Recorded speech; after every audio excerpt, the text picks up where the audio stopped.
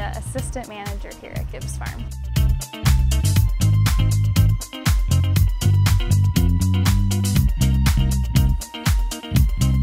When you come here or come to a historic site like this, it's really like bringing history alive. It's making it sort of here and now versus just something in a book or on paper. It's really like a one-of-a-kind place here. We have two pigs, two sheep this year and four chickens, two goats as well, and then we have some ducks and geese.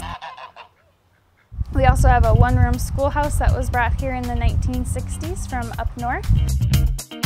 We also have a historic barn as well.